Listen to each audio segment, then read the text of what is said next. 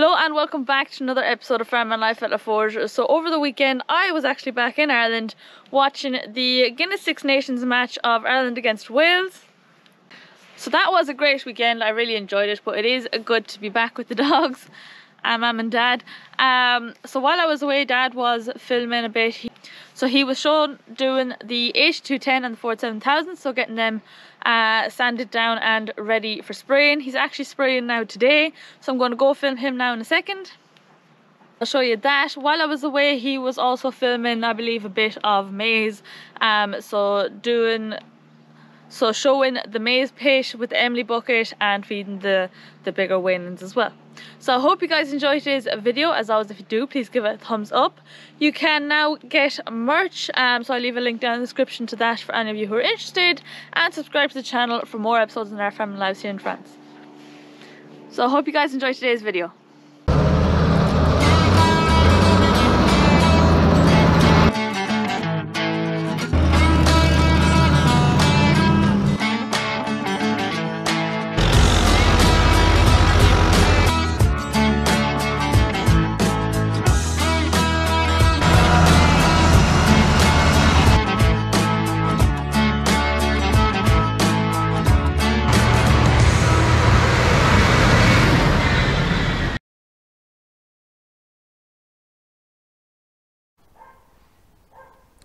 So I'm here back at the 7000, just sanding the bonnet.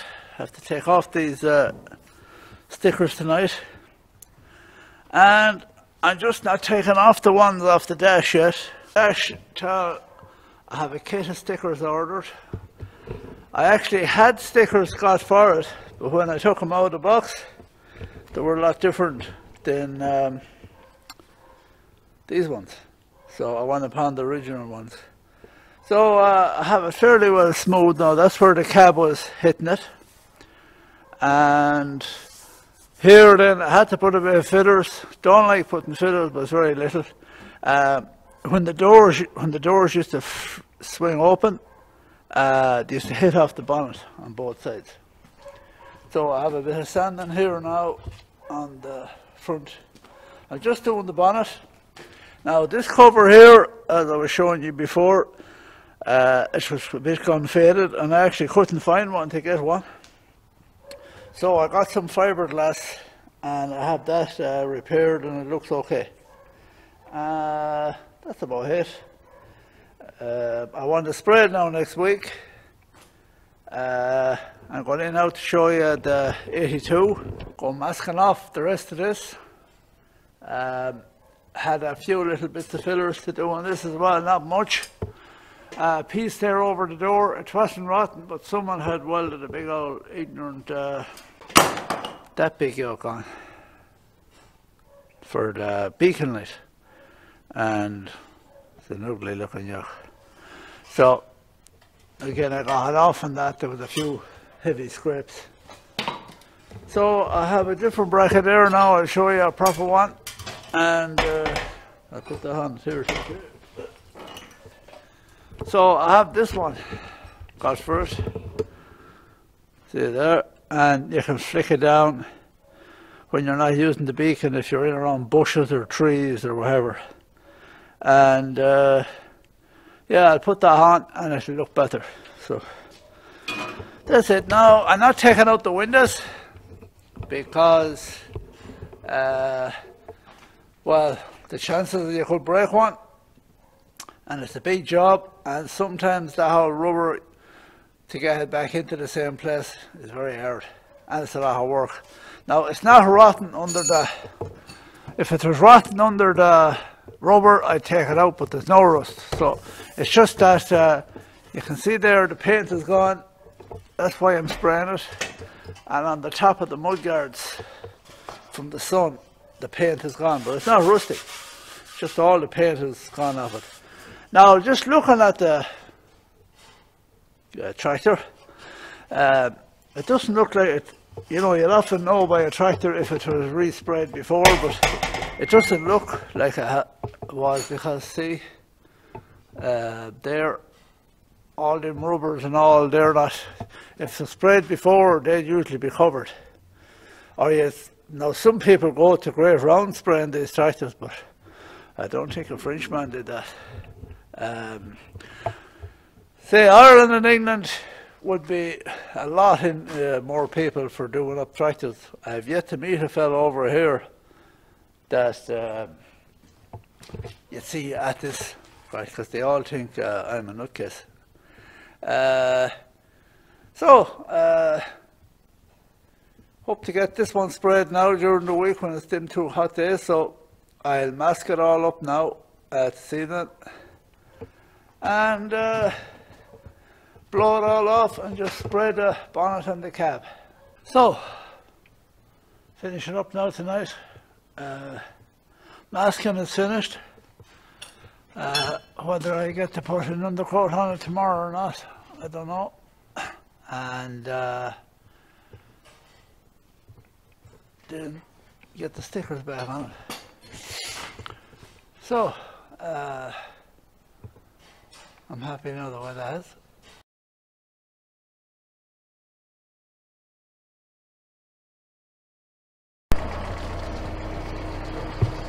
So we're here at the pit.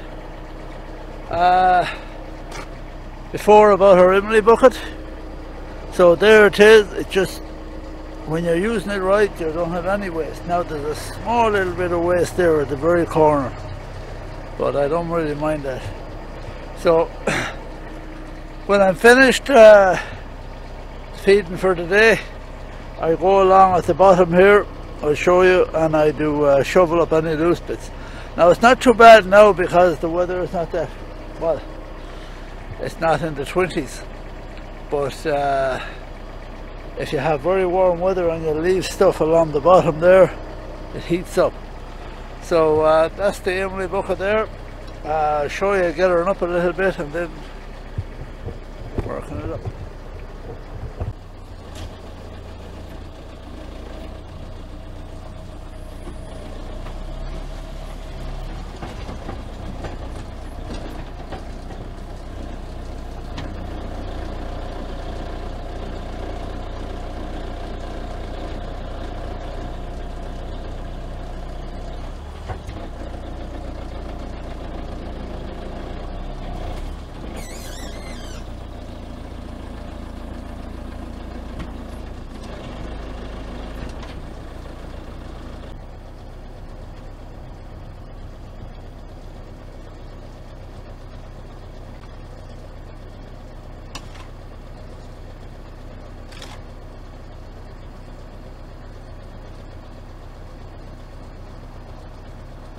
That's all the center of the roster.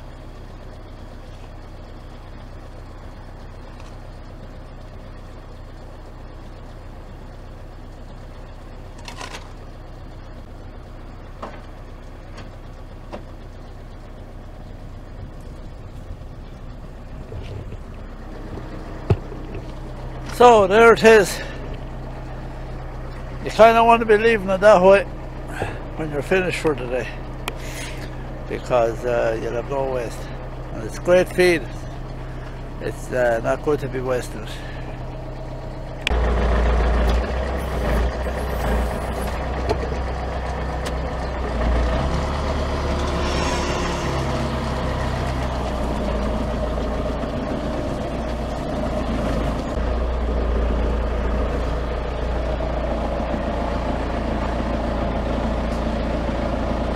So they're all eating them as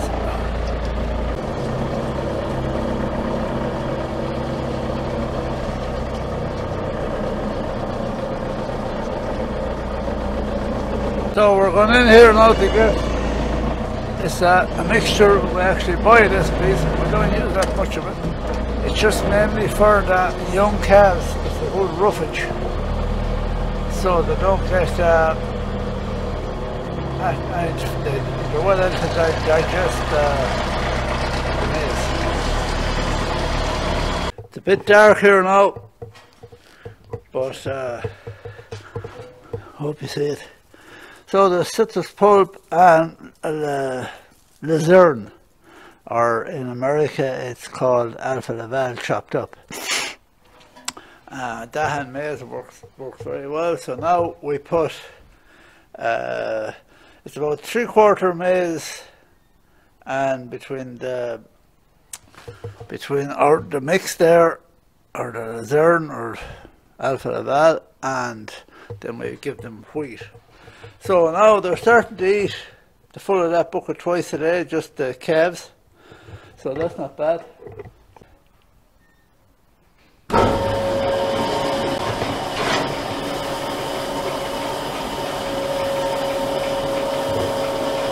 Now there's minerals and all with that there. So we're going down along here and up to feed Laura's cats. Surveyors.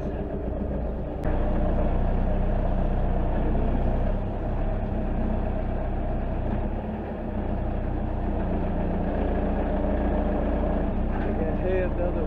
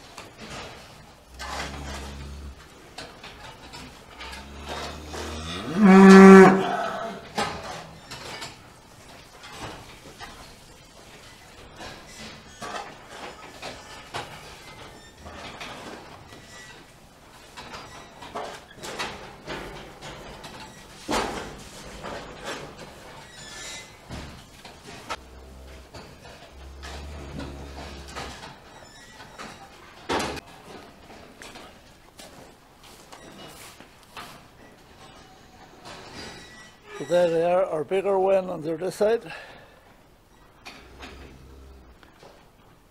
And we have a big heap of stuff there and we shovel it in about three and four times a day. Always keep a fresh bit in front of them. They're doing very, very well. Now, they all can fit in there, plus they have their hay and straw there. So once you keep them all well fed, uh, they're all that to get. Now there's a, a good calf. I'm real, I'm real uh, satisfied with the Limousin Bulls. Okay. So that was as far as Dad got filming over the weekend. So a big thank you to him for doing that while I was gone. And now I'm going to go film him spraying, aren't we, Jess? So, we're here at the 708210, uh, putting on the undercoat on it. So I have uh, the first uh, the first piece is on. I'll give it all, the bonnet and all that, uh, a good coat of uh, the undercoat. The primer I'm putting on is, is an industrial primer. It's not a proper tractor primer, but it's actually I think better because it's better for rust in the long run. And uh, it doesn't interfere with the proper Ford blue either because I've done it before. So uh, it's just really getting the facelift. All the paint was actually burnt off the bonnet with the sun, and I was just afraid in a few years' time I might get pitted. And uh, so I was just looking forward to doing this for a while. I'd like to have it looking pretty good. So. Uh, the stickers, the first set of stickers came and they were wrong, so I have another set ordered that actually didn't come. I have all the other stickers taken off. Hope they do come. And uh, so I'm going to do the primer now today and then leave it till tomorrow and give it a, a small rub down of water paper, real fine paper. And um, so this is what we're using here. I'll show you. That's my mask. This is our spray gun that we use. It's a Bosch. And the longer you don't have to put actually too much tinners with the paint. Because when you leave this running for a few minutes, and when that's going, I'll be turned off now because you wouldn't hear me talking. Uh, it actually heats up all the paint, and when the paint is warm, it flows better. This here, it's there's no compressor involved. It's its own. I'll just turn it on for a second.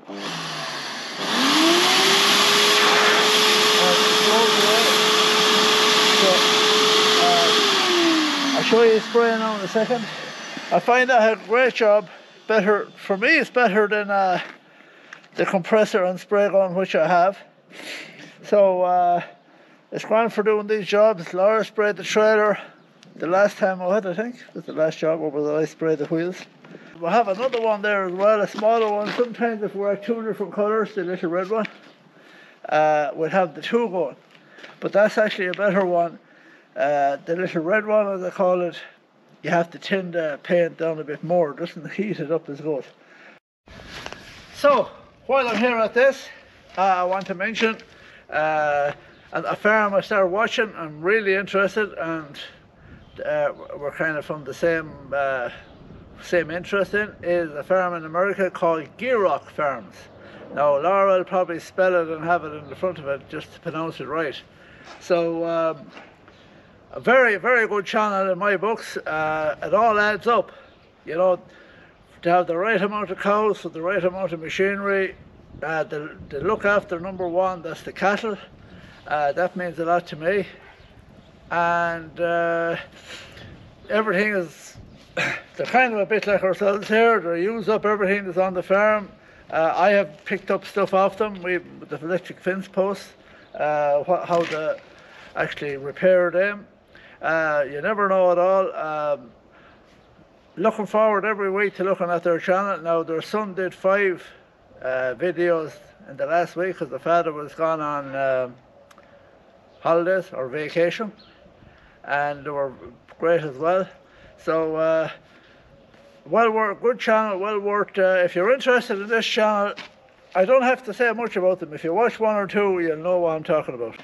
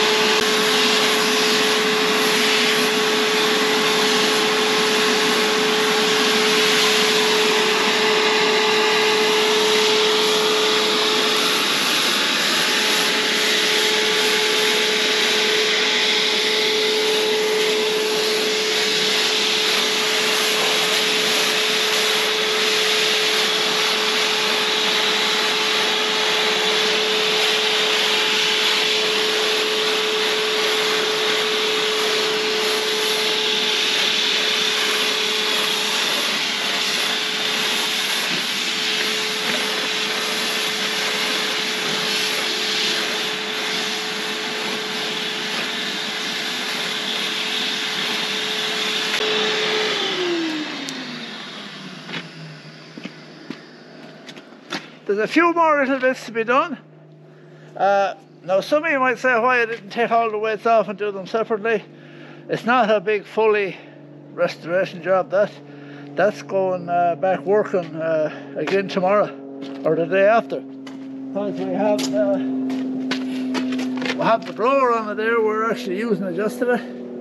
So uh, if some of you seen on, on the video before, we made that out of uh, a Masaur and it blows, it, it, does the cattle for lice. So it's actually a, a, tank and this off a quad, but we have it on this then for spraying roadways and all that. We find it a dream. Now, uh, we just didn't get the video of it last year, but hopefully uh, we'll do it now.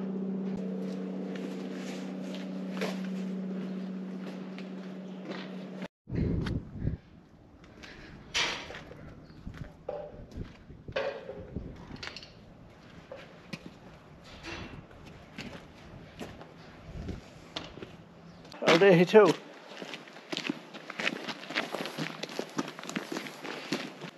That's the little red one we have. Uh, actually, Emily often uses it at some jobs in the house, spraying doors and that. Actually, there are some of the Ford blue that you, when I bought the, the 7000 or it's Ford grey, he gave me the, the kind of paint that came with the tractor when he bought it new. So, and this is almost full. So we have the,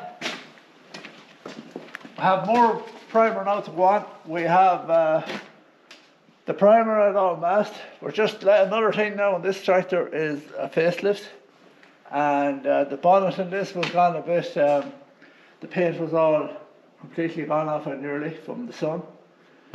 So, uh, and I was afraid of the cab because the cabs on them are uh, real prone to going rusty. Now, there's not a peck of rust on it, and it never looked like the tractor was spread.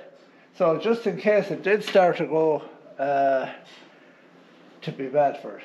So, um, I think that's all. Uh, okay, another little tip for those of you that's not that used to painting is the worst about these big cans is they're a lot cheaper to buy primer in. And uh, the, but what happens is if you're not using it that often, it tends to go off. So when you're just finished with it, put in a small little drop of tinners into the bucket on top of it, and it'll float along on the top, and it'll stop the paint from drying up. Now you could probably do the same with white spirits on a, a can. So I nearly finished with this now, and we have that we have that can for a couple of years, and it never dried up. So. Uh, and over here with the heat is the problem.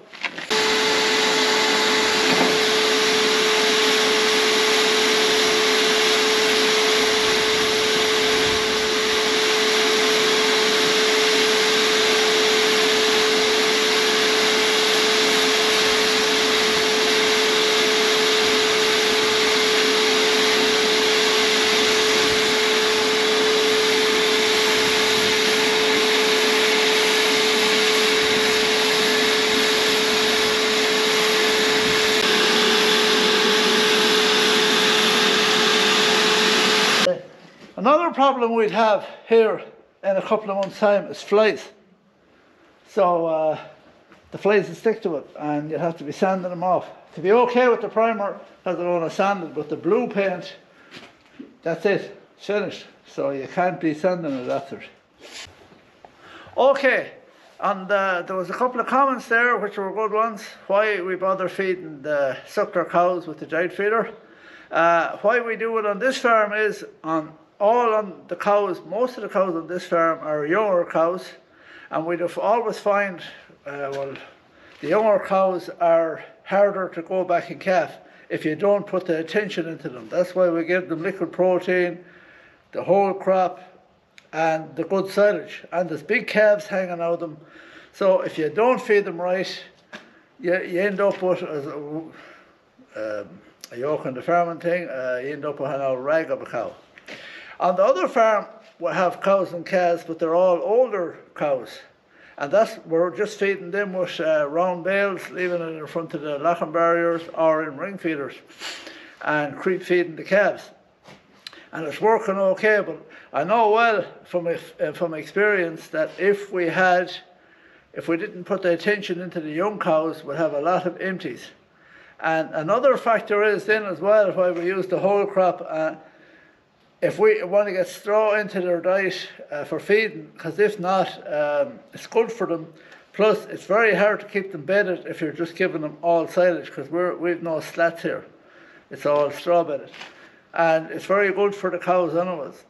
Plus, if you don't mix it in the diet feeder, uh, the whole crop and the silage, uh, for some reason, they'll leave the straw and the whole crop behind and eat the silage. But when it's mixed up and chopped, they eat the whole lot. So that's another reason why we do it. Uh, it's mainly for the young cows because we put, last year we put 60 cows, heifers, into the herd. Now this year it'll only be about 40, 38 or 40. But normally that's the figure we'll be putting in the whole time because we, we only fatten cows. But we'll talk about the rest of it again.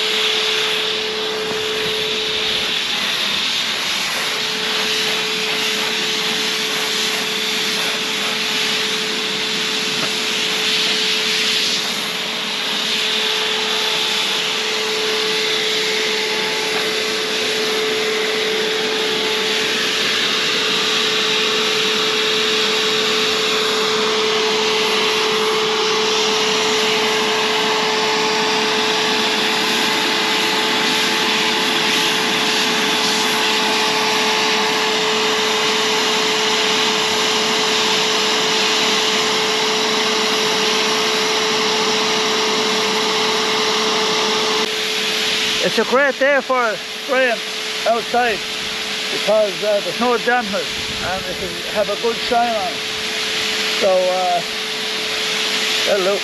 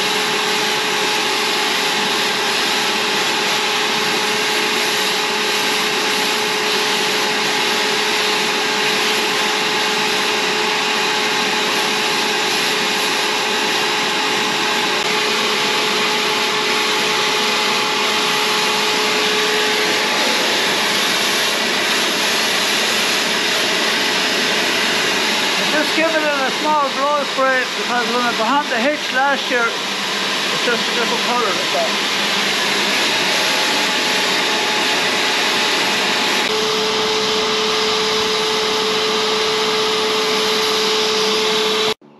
So that's that for this week's episode. I hope you guys enjoyed it. Thanks for watching, and we'll see you in the next one.